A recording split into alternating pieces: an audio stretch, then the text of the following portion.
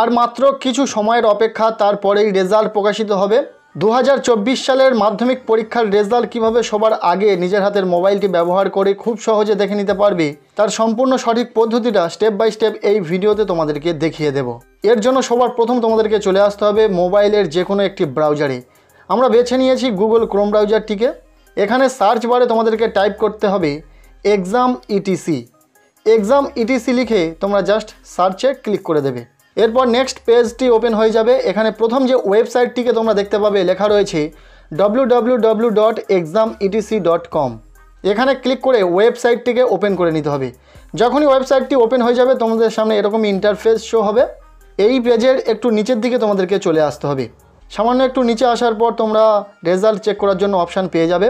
একটু নিচের দিকে আসার পর এখানে তোমরা দেখতে পাবে, লেখা রয়েছে সিলেক্ট ইউনিভার্সিটি বা বোর্ড এখানে বিভিন্ন পরীক্ষার রেজাল্ট চেক করা যায়। সো মাধ্যমিক পরীক্ষার রেজাল্ট চেক করার জন্য ঠিক এর নিচে একটি অপশান তোমরা দেখতে পাবে, লেখা রয়েছে west Bengal board of secondary education result check করার জন্য জাস্ট তোমাদেরকে এই অপশানের ওপর ক্লিক করে দিতে হবে।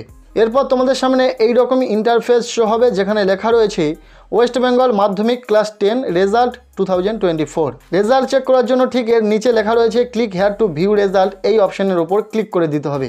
ক্লিক করার পরে পরবর্তী পেজে তোমাদের রোল নম্বর এবং ডেট অফ বার্থ বসানোর জায়গা পেয়ে যাবে এবং সেটা বসিয়ে তোমাদেরকে রেজাল্টটিকে চেক করে নিতে হবে।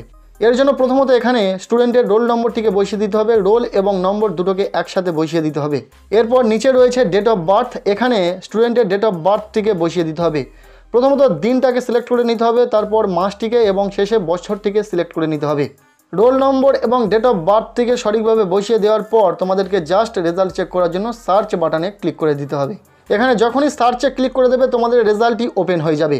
এখান থেকে রেজাল্ট চেক করার পর রেজাল্টটি কেমনভাবে শো করবে সেটা দেখানোর জন্য বিগত বছরের একটি রেজাল্ট তোমাদেরকে দেখাচ্ছি, একটু দেখে নাও।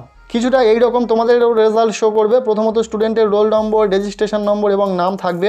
তারপর নিচে থাকবে স্টুডেন্ট কোন সাবজেক্টে কত নাম্বার পেয়েছে এবং সেটা কোন গ্রেড এইভাবে মাত্র এক মিনিট সময়ের মধ্যে তুমি তোমার রেজাল্টটিকে খুব সহজে দেখে নিতে পারবে বা অন্য কারোর রেজাল্ট খুব সহজে দেখে দিতে পারবে।